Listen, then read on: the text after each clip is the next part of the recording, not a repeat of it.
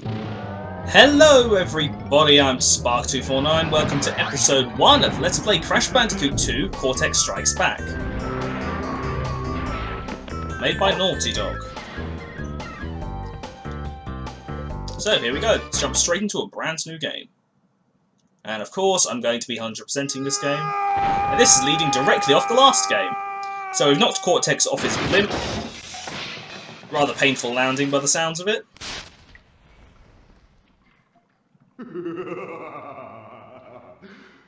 Crystals. Of course. So, this is the uh, new main collectible of this game. In the last game, you had to collect...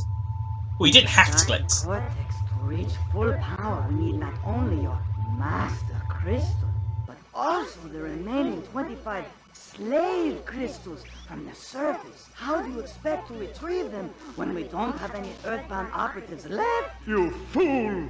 Do you think I'm unaware of the situation? If we don't have any friends left on the surface, then we need to find an enemy. And this is Coco Bandicoot, Crash's sister. Crash? Crash? Crash, my battery is fried. Make yourself useful, big brother, and bring an extra battery for me. What, double A battery, or... Okay. So, if you remember all the crate types, this is the one which you want to bounce on to get Wumpa. This is just a standard crate. And this is just a little introductory level. This crate gives you Aku Aku, the protective mask. If you see Aku Aku as he is currently, he'll save me from one hit. If you see him when he's got more of a golden palace going on, he'll actually protect me from two hits. And if I manage to pick up a third mask, he will grant me temporarily invulnerability. But yes, uh, in this game we're actually going to need to collect the 25 slave crystals. I don't know why I'm bothering with these. Oh, what's this?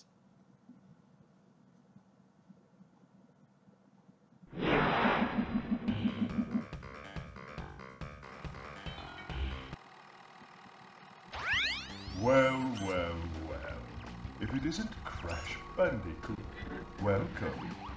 I apologize for the crude means used to bring you here, but I rather expect a written invitation would have been would have been turned been turned and turned down. I need your help. Surrounding you are a series of five doors. Through each door lies a well-hidden crystal. The crystals look like this. Bring me the crystals, Crash. That is all I will say for now. We will speak again. Okay, bad guy from the last game. So, uh, in the first game we had a map screen to walk to. In this one we're given the warp rooms, and these pretty much get used from every Crash game onwards. You can see up there next to the name of the level, Turtle Woods, that there are three slots. One, there's always one for a crystal, and there's always one for a gem. Although, some of them will contain other gems, and there are 25 crystals in the game, 37 clear gems, and 5 coloured gems, whereas, and there are no keys like there were in the first game. The crystals are the main objective, the gems are a secondary objective. And in fact, I'm also going to need to pick up something called the Secrets, and I'll be getting to those when I get to them. So let's start with level 1, Turtle Woods. First level at the first warp room. Oh, and I should probably mention, although Crash can jump and spin, he has a new move now, the Slide. And he'll do a high jump if I slide and then jump. And I'm not particularly fussed about Wumpa. So...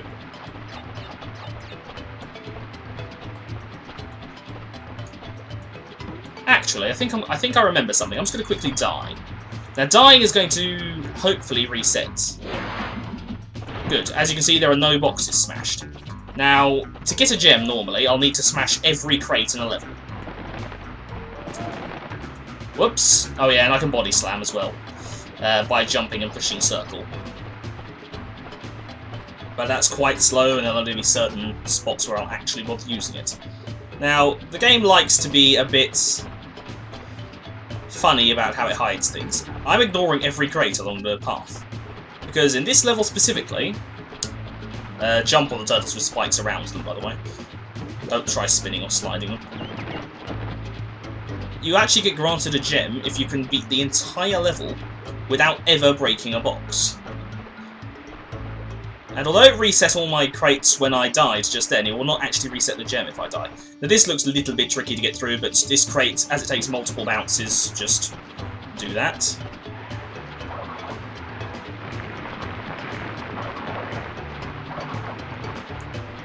If you can break all these pits, you'll get a springy mushroom. Sorry, break all these things in the pits, you'll get a springy mushroom. Now the only trouble here is because I'm... I can't um, smash any crates, I can't get Aku Aku to protect me. So if I get hit, I'll be doing this again. Aha, the first crystal. I'll grab it on the second run through.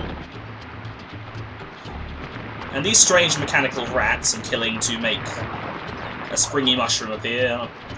Okay, so yes, um, other than that, the gameplay is remarkably the same. Oh, and look, this is actually a coloured gem. So I'm five minutes in and I've already picked up, well not even five minutes, and I've already picked up a coloured gem. So now I'm going to die. It'll allow me to keep the coloured gem, but this is just to save me exiting the level and re-entering, or... Yeah. Because now I'm going to pick up the crystal and the other gem. Four, five, six, seven, eight, nine, ten. Usually ten to break those.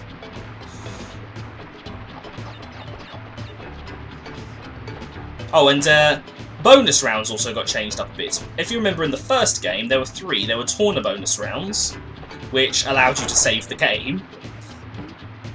Um, there were Brio bonus rounds, which I believe were just to get you extra lives. By the way, body slam on that face. Uh, and there were Cortex bonus rounds to get the keys. In this game, there are bonus rounds, and some of them are weird ones, like... Uh, this isn't technically a bonus round, this is just like a hidden area.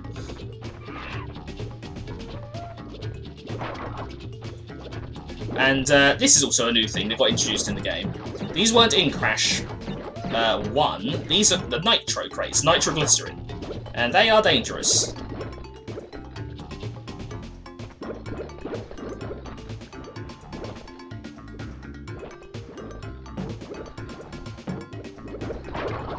There we go.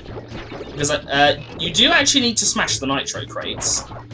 But there's... Oops. Oh, and that's another thing. Dying does not mean you need to restart the level. They got rid of that stupid, frustrating mechanic.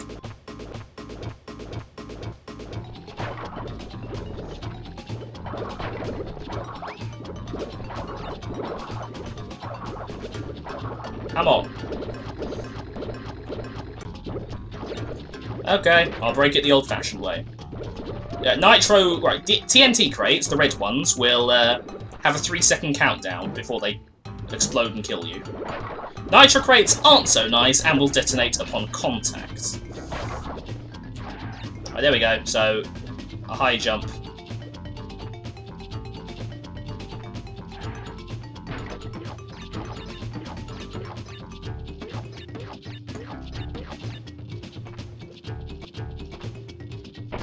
How do I make you stand up again?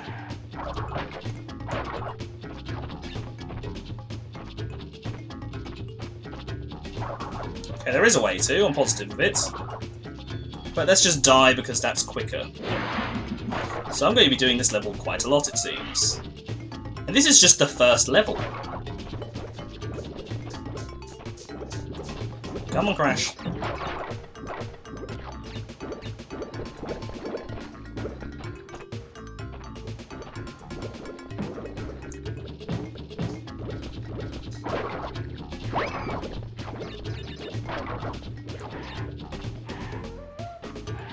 Ow. Blasted. There we go. Right, that was actually the glitch high jump, which is spin jumps. Uh, sorry, slide jump spin. It gets you a little bit of extra height. And although it's probably not intended to cross that, because, you know, it is actually a glitch, I'm using it anyway. Okay, this strange green crate is the Nitro Detonator. If I attack this, break this, that massive screen-shaking kaboom was destroying all of the Nitro crates in the level. 36 is more crates than I've smashed. Let's go, back in the st main stage. So that little hidden area, the only reason I actually went into it was to smash those extra crates and therefore, hopefully, let me get the gem. Now this is actually a bonus round. If you see a question mark, you're heading into a bonus round. And bonus rounds, uh, they're going to be easier than those hidden areas. They're just here to grant you tons of lives. Look, there were five crates, an extra life, a bunch of Wumpa, and three pitfalls that can actually kill me.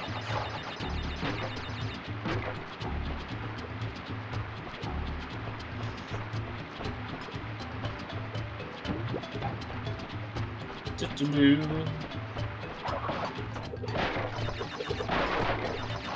we go, and now let's get an Aku Aku to stop me from dying quite so often.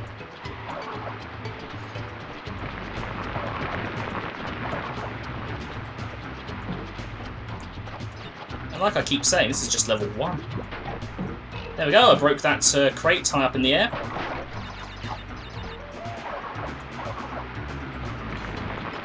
It's possible to clear that with a glitched high jump and uh, zigzagging, both of which are speedrunning techniques. I'm no good at them, so I'm not going to bother that hard. Okay, the first of the 25 crystals.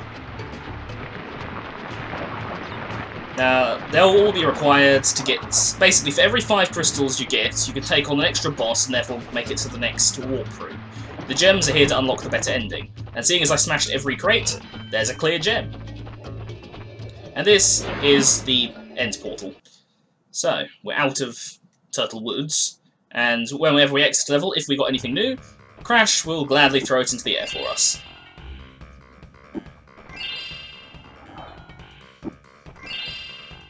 And there's the first coloured gem.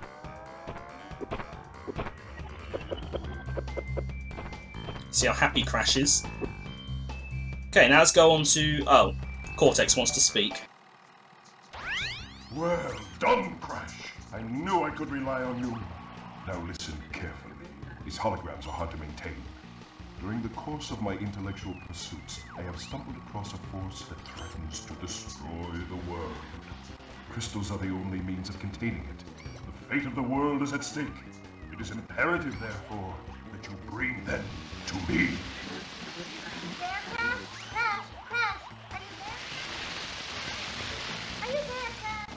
Too much static, Coco, can't hear a word.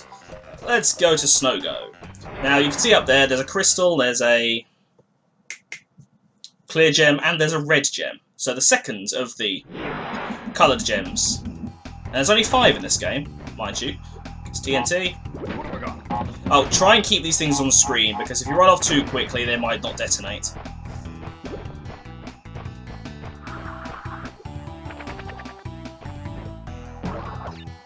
That's not what I want, there we are.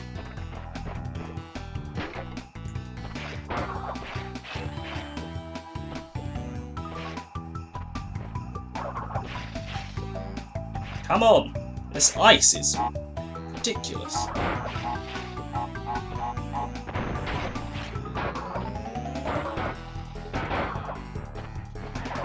There we go. Uh, another sliding high jump. Let's do that. Crash has literally no traction. Oh dear, I got hit. A little bit of nitro dodging failure at nitro dodging, that is. Get on the platform to get up to the next area.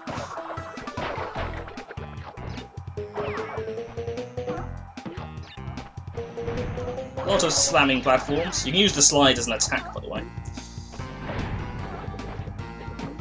There's the red gem. Now, it is possible to clear that number, to get that right now in a number of ways, but in the interest of fairness, I'm not going to. I'm actually going to get it the legitimate way, which I can't do right now. Why did I do that? Okay. Back into the bonus round, and this time, wait.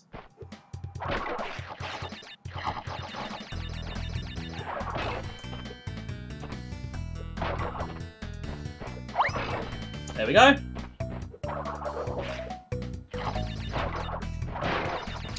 Ten crates. Oh, and the crates in the bonus rounds do count.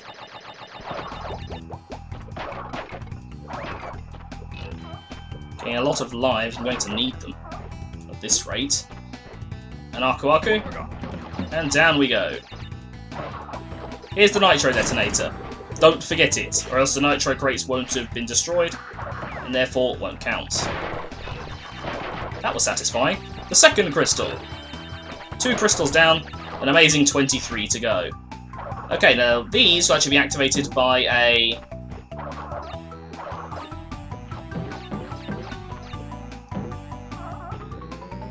Come on.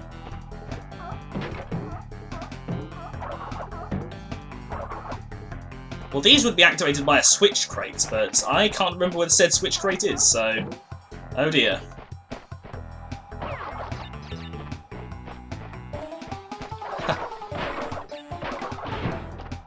I'm missing those two crates activated by the switch crate. I'm coming back here, I cannot be bothered right now. I'll need to come back here regardless for that red gem.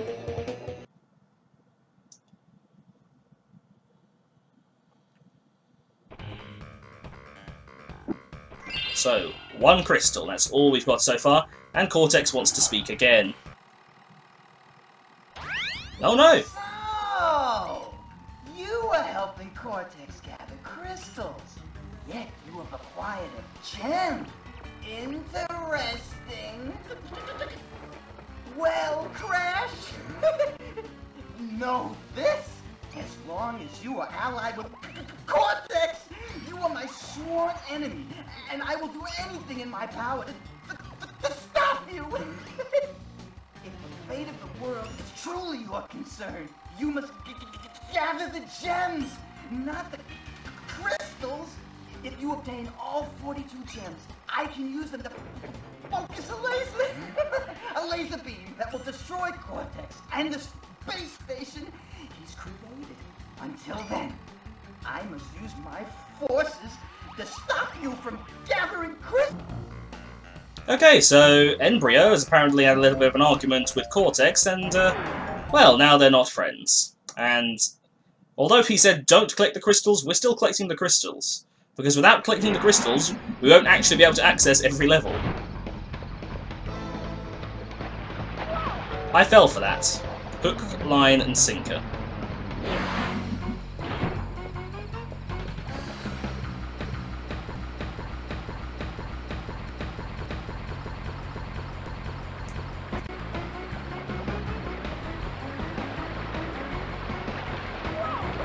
Fell for that! Stupid robo-fish.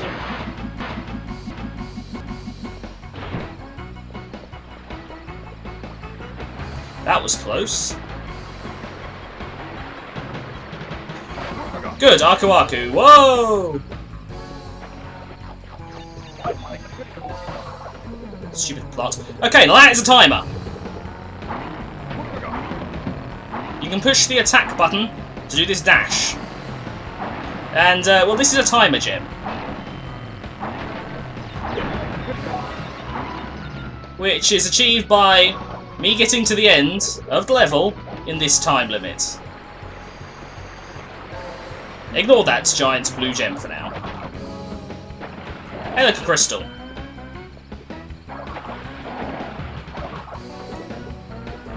This time limit is tight. Oh, for flaming sake, I died.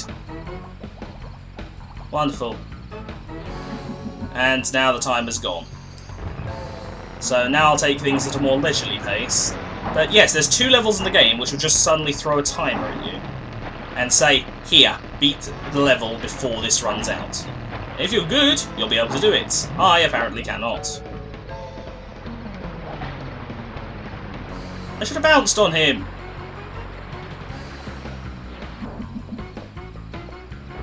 Oh well. Why don't I just waste every life I have on this level?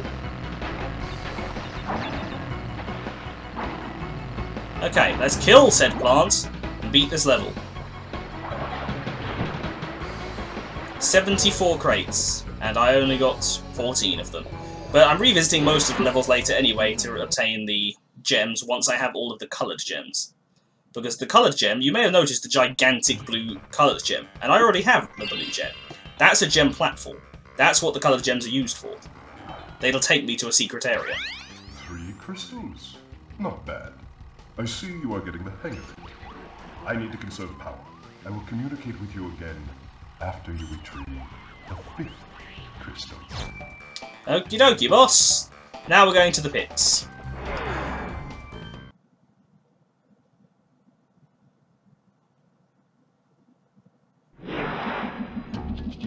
Let's go. I have not played Crash 2 in quite some time. And I do prefer Crash 3.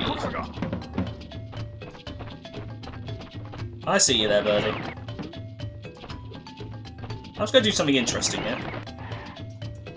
If I can.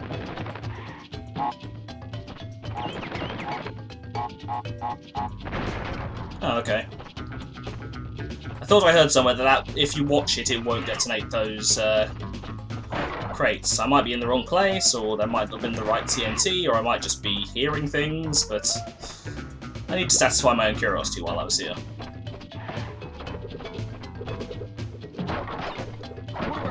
Golden Aku Aku. Now, you may have noticed the path just split. And how do I know which way to go? Well, one way will uh, actually get me the, the crystal, but I'll need to go down both routes to break every crate, so...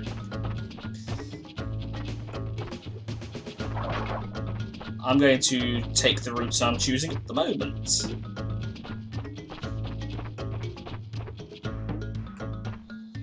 I didn't expect to bounce on that enemy, and am I out of... No, I'm not out of bounds.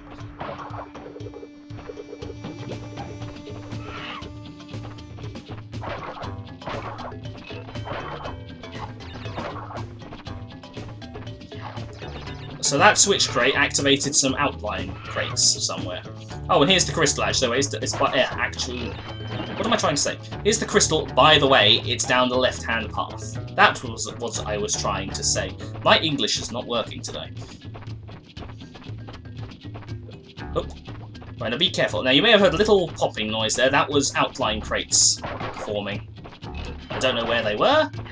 All I know is that there were some. These two turtles need to be tackled with different attacks.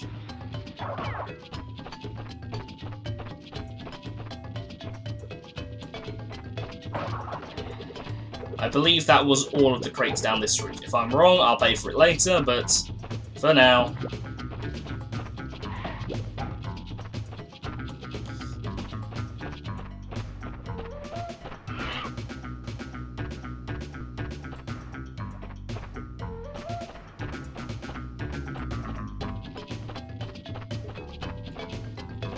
Yeah, another checkpoint crate.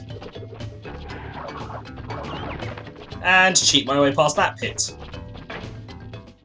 Aha, this type of crate. This is interesting. This crate will not be destroyed by standard attacks. This was a reinforced crate and can only be destroyed with a body slam. And interestingly, depending on which version of the game you have, uh, PAL, which is for Europe, or NTSC, which is America and Japan, the body slam will actually go through a certain number of layers of reinforced crates before breaking. How not to play Crash Bandicoot, Lesson 1. lesson lesson 1. Never completely misjudge how far you're supposed to be jumping.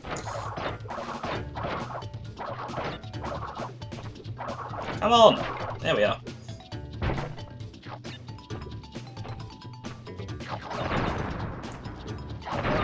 Okay, I was trying to be smart and do the TNT bounce, but...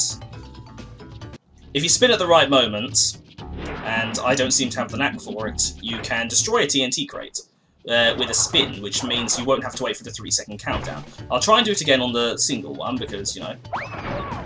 I didn't actually land on it that time, which is why I died. One last try. If I die this time, I'll forget about TNT bouncing.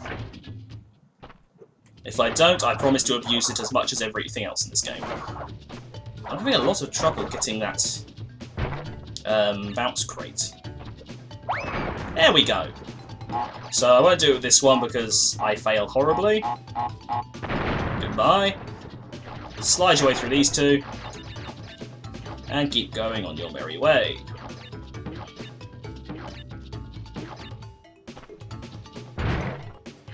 Well, nearly got them all. There we are. So, switch crate, which activates not only this one, but there were a couple earlier which is why I left these crates alive. And now I might be in trouble.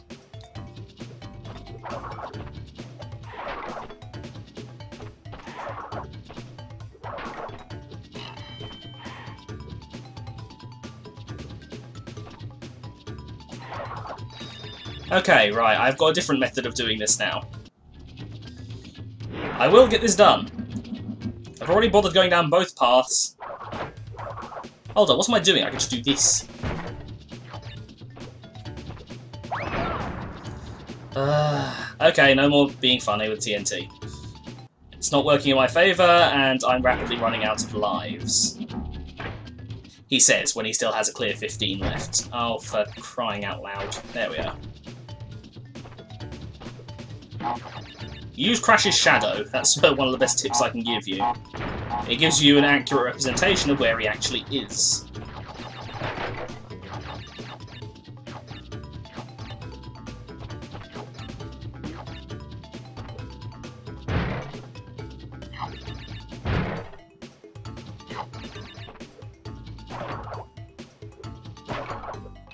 Extra life. By the way, these lives don't count unless I beat the level. Oh, Crash! Seriously. I will do this. I promise that this first uh, video will not be 20 minutes long. Short, uh, uh, word I'm looking for. Solely due to level 4.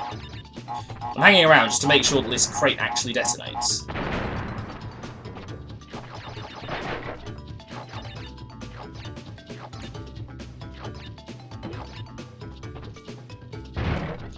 Why can't I break all of these crates at once?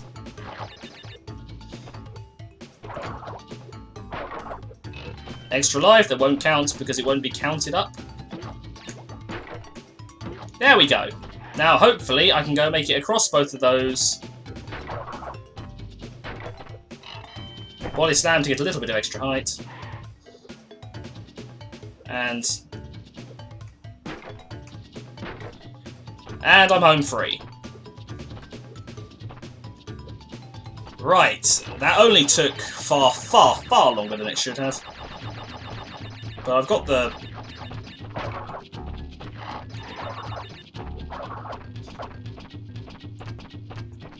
Just to save a bit of time, I'm going to uh, slightly cheese my way over these pits, because you know what they do. They just waste your time! And I got to the gem, so this wasn't a complete waste of a level.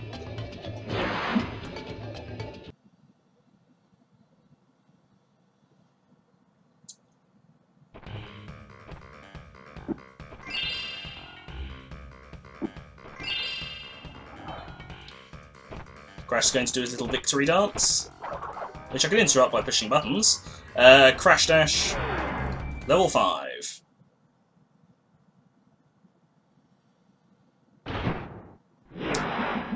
And this is one of those wonderful old levels Crash is famous for, where I run downwards.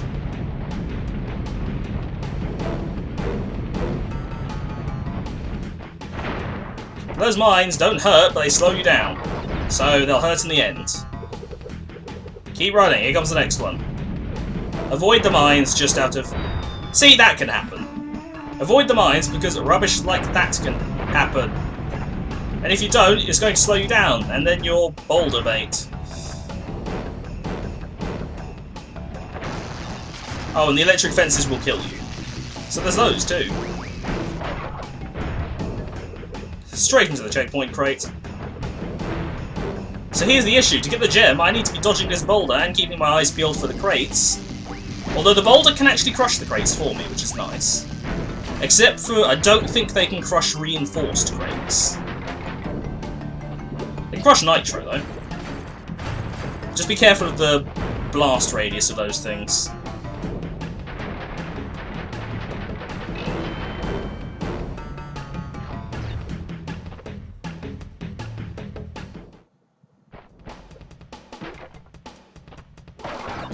Crate will hurt. Stay away from that crate. Ah, that old trick.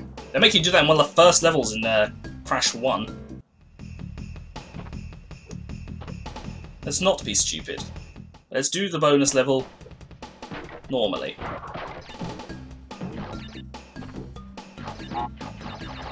Right, that should read 5 when they explode. Why did it not read 5? Of course it didn't. See what I mean? That should have detonated by rights. Okay, let's do through this rubbish right here. I'm going to do this slowly, so that that sort of rubbish doesn't catch me off guard.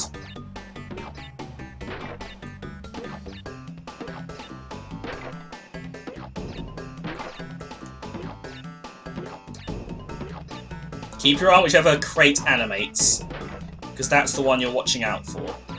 Three, four, five, six, seven, eight. And there we go. Bonus area done.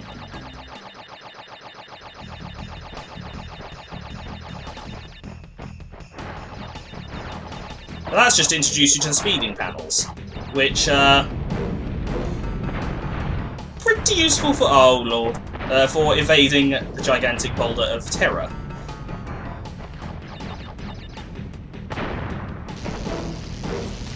A pit and an electric fence. Listen for the sound. If you hear the buzzing, it means it's an electric fence. Oh yeah, I forgot, he won't actually break those. Because the electric fence launches the boulder,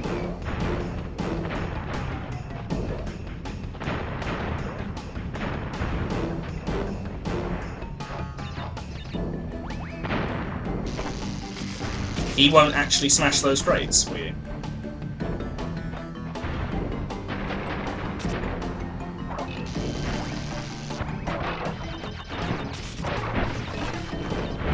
And there we are now. How many crates did I miss? Oh, I didn't! Okay, I literally thought I'd missed some.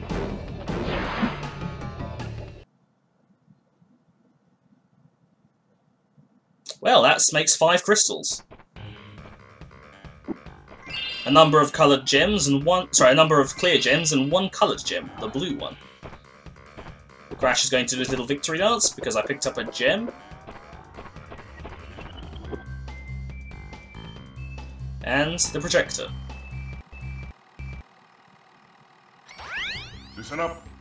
We are not without enemies. Some of them you may even recognize. Although they cannot harm you inside this warp room can attack you on your way to the next way. To get to the next warp room, use the platform that appears in the center of the room. Good luck. Okay, so this platform in the middle. Going up. The first boss battle, who guards the second warp room. And you might remember him from the first game, though he has a different attack pattern. This is Ripper Roo. Oh dear, he's angry. We ruined his reading time. And, uh, well, this is the world's safest TNT. Just uh, don't be nearby when it decides to explode. Now, you see that he's now wearing his... I hesitate to say blonde, but his more crazy person outfit. Straight jacket and. Now, once he's done this with the Nitro, the Nitro is dangerous to stand on. Spin him. That's how you damage him, after the Nitro attack. The TNT is harmless except for when it explodes.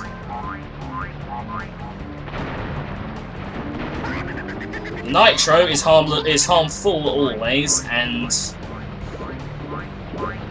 I have no idea where you're going. Okay, right. He'll always leave a, he'll always leave a safe spot, and then you just attack him.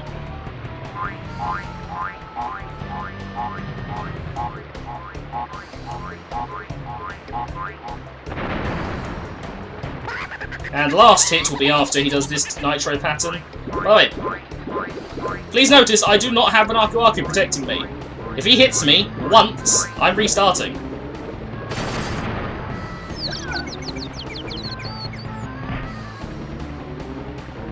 And we get the little crash dance to signify that's a boss.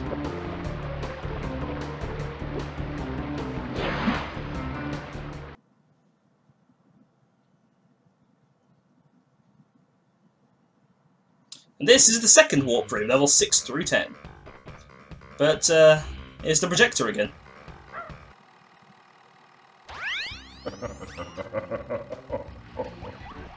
I see that Ripper Roo failed to prove much of a challenge yet again. But back to business. There are crystals to be gathered. 20 to be exact. The planets will align shortly, all 13 of them. This will create a power great enough to rip the Earth apart. Properly utilized, however, the crystals can absorb and contain the energy.